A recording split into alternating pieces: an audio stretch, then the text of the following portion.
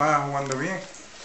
Bueno, jugando bien. Primer tiempo hemos hecho un partido, creo, de tú a tú los dos equipos. ¿no? La segunda parte, con un jugador más nosotros, hemos sabido leer muy bien el partido, ¿no? Porque no puedes arriesgar 0-1 y llegar a que te empate, porque la victoria o empate de 3 a un punto, fíjate lo que supone, ¿no?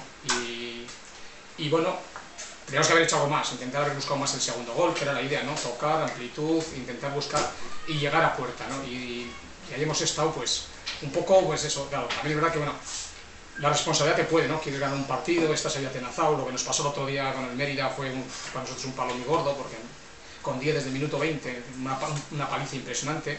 Entonces físicamente tampoco el equipo y luego pues de la medida pues quieras o no que falta, alargue 3 y en el minuto 2 y 40 segundos te hagan el empate cuando estás dominando casi, entonces pues al final te ves ahí abajo y claro siempre los nervios, y, pero bueno, importante la victoria sobre todo porque yo creo que el Santa Brígida es un equipo que va a estar con nosotros peleando por lo mismo, ¿no? Yo creo que sus objetivos son la permanencia y los nuestros lo mismo, entonces eso tiene siempre más valor.